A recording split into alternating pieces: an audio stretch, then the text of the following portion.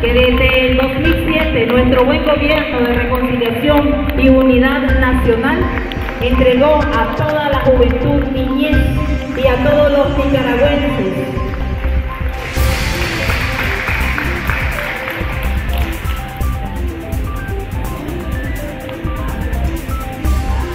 Es entregada a nuestra alcaldesa, la compañera Fiona Tercero López, en representación de esta Compartiendo los logros y los avances educativos que hemos tenido en el sistema de educación. Eh, con el protagonismo de los docentes, de los estudiantes, de los padres, madres de familia, de las autoridades municipales, con nuestros delegados, de las instituciones de nuestro buen gobierno, en el que coordinamos cada una de las acciones educativas para poder cumplir con ese decreto, con ese mandato de una educación de calidad, una educación gratuita, una educación inclusiva, incluyente, en la que podemos ofertar diferentes modalidades y programas, y programas educativos a las familias nicaragüenses.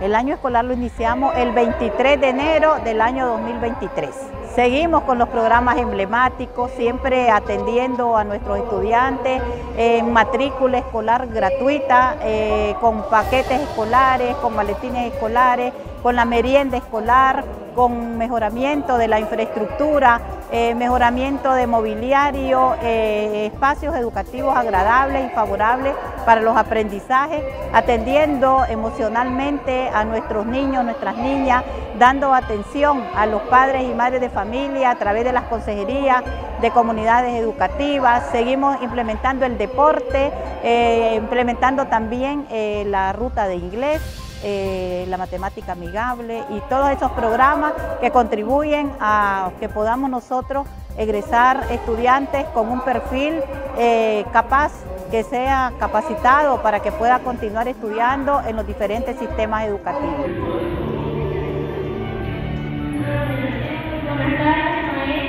En el año 90 los gobiernos neoliberales privatizaron la educación porque para ellos era un gasto social la, educación y mandaron a los padres de familia a costearla. Y viene el comandante Daniel en el 2007, como ya leímos también el decreto, llevamos 15 años de educación gratuita y de calidad, porque también al mismo tiempo nuestros maestros están formando para cada año estar, tener más calidad en la educación, Entonces, y eso se lo van a transmitir a los niños, a todos los jóvenes,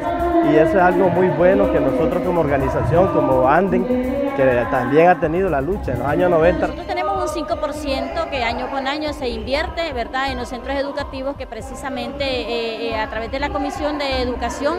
eh, se identifican cuáles son los que se van a intervenir. Sí, nosotros hemos venido trabajando ya con ese 5% que les corresponde y hemos ya mejorado casi todos los centros educativos y seguimos todavía para poder dignificar ¿verdad? esos centros para que nuestros jóvenes niños y adolescentes pues puedan estar en un lugar digno y prosperado.